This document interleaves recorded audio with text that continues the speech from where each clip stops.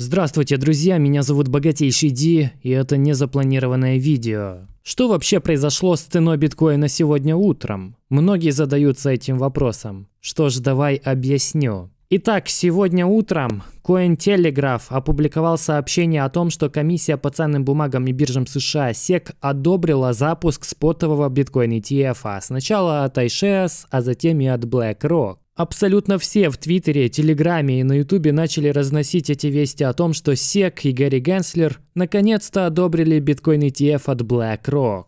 Цена за несколько минут взлетела на 10%. Затем Эрик Балчунас, специалист по биржевым продуктам от Bloomberg, у него есть свои источники, сообщил, что сообщение о запуске спотового ETF ложное, а BlackRock сообщает, что их заявление все еще находится на рассмотрении у Гарри Генслера. После этого Cointelegraph отредактировал свою новость, написав следующее. По сообщениям, SEC одобряет запуск спотового биткоин ETF. Шум был настолько большим, что слово «по сообщениям» даже попала в топ Твиттера. Еще несколько минут спустя Cointelegraph и вовсе удалил этот твит. А вместо него опубликовал пост, в котором приносил извинения, а также сообщил о том, что они уже проводят расследование, как это произошло и кто в этом виноват. Разумеется, на этом фоне цена биткоина откатилась вниз и полностью обнулила все это движение. Есть несколько вещей, о которых стоит сказать.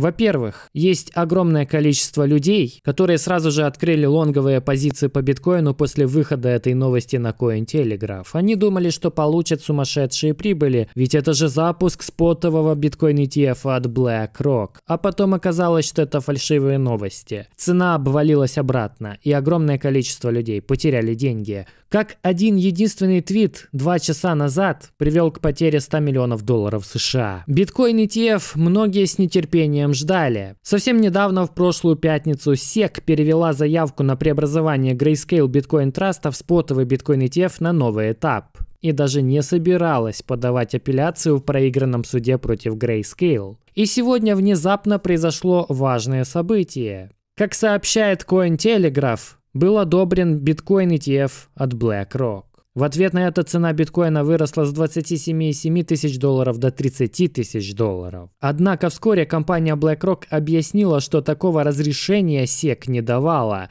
в связи с чем Cointelegraph принесла публичные извинения. Последствия более 100 миллионов долларов ликвидаций, причем большая часть потерь пришлась именно на розничных инвесторов. На OKEX было больше всего, затем на Binance, Bybit, Huobi и CoinEx. Так что это действительно безумие. Я не удивлюсь, если кто-то попытается подать на Cointelegraph в суд. Возможно, даже коллективно. Потому что это не та новость, которую можно просто так выдумать и запостить на таком огромном ресурсе, как Cointelegraph на миллионы человек. Просто вот подумай, ты можешь представить себе, чтобы какое-то основное СМИ мира, например, Bloomberg, сказали «Началась ядерная война, спасайтесь кто может». Представляешь, какая паника начнется? Cointelegraph – это Bloomberg в мире криптовалюты, одно из крупнейших СМИ. Зная, как сильно это влияет на миллионы людей в биткоине и криптовалютном пространстве, кто потенциально может пострадать от этого, постить такую информацию